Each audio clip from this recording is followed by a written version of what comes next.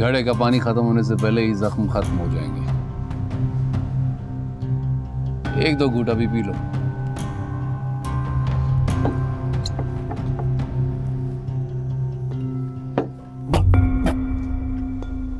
ये क्या अलमन कैसा पानी?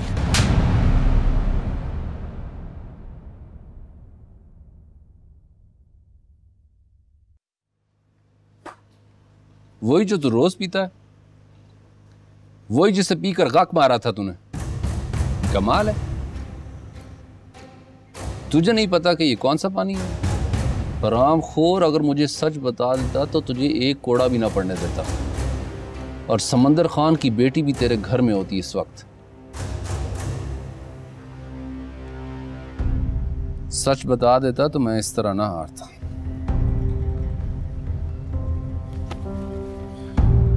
हाजी मरजान ने वो 120 कोड़े तेरी पुश्त पर नहीं।